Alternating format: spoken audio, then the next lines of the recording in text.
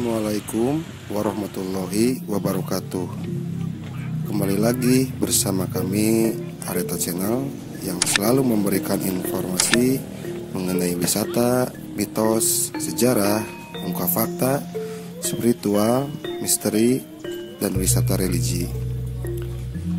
Oke untuk episode kali ini Areta Channel mencoba untuk pergi berziarah ke daerah Majalaya yang terletak di Kampung Ciwangi, Desa Cipaku, Kecamatan Paseh. Jaraknya hanya sekitar 500 meter dari Jalan Raya Cipaku. Situs makam keramat yang akan kita kunjungi saat ini adalah situs makam keramat Sembah Dalam Kalijaga atau makam Eyang Pakujaya. Makam Eyang Pakujaya tampak berbeda dengan makam-makam pada umumnya. Makam ini berada di bawah pohon yang berumur ratusan tahun.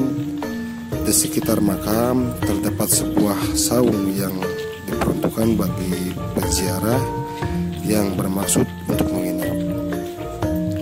Namun sayang, di area makam belum tersedia tempat berwudu.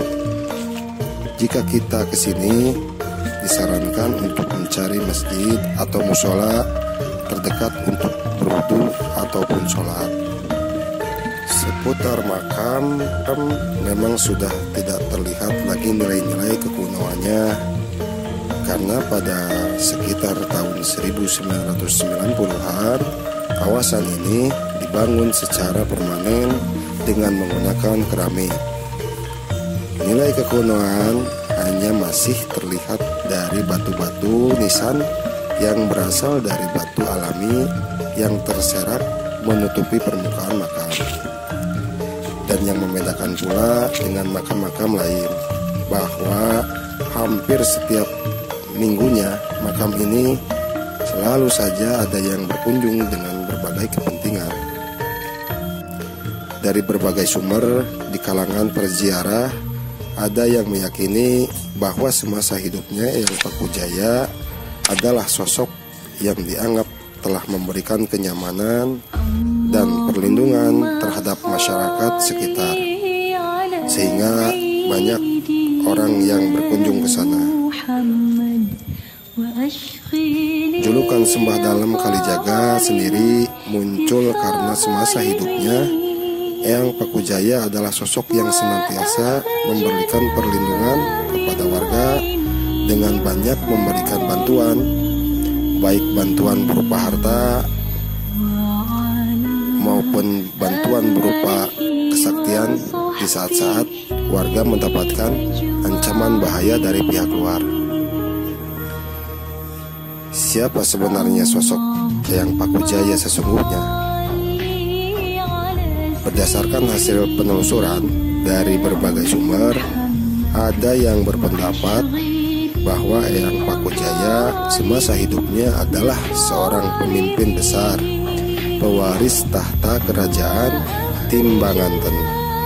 Bahkan menurut sumber tersebut yang disebut dengan Eyang Paku Jaya adalah tidak lain adalah Ratu Cakrawati Wiranata Kusuma. Makam kuno ini ditemukan pada abad ke-17.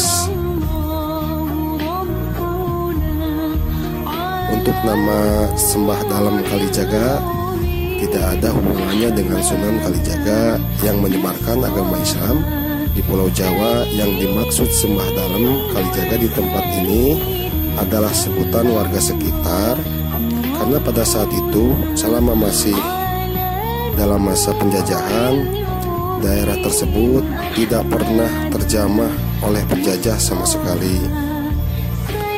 Pernah sesekali ada penjajah yang bolak-balik di daerah tersebut, namun malah seakan-akan tersesat. Wallahu alam bisawab.